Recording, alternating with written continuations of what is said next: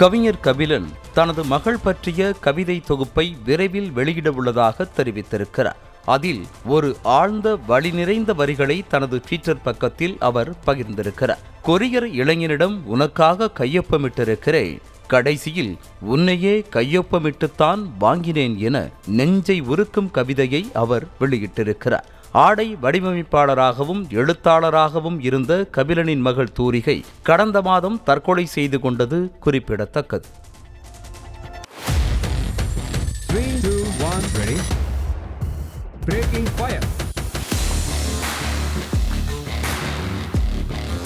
Lights on. Camera ready. On and. தமிழ்ச் செய்திகளின் புதிய அடையாளம் காலை புதிய அங்கம். செய்தி வழங்குவதில் உலகத் தரம். இணைந்திருங்கள். காலை ஆறு மணியிலிருந்து உங்கள் நியூஸ் தமிழோடு.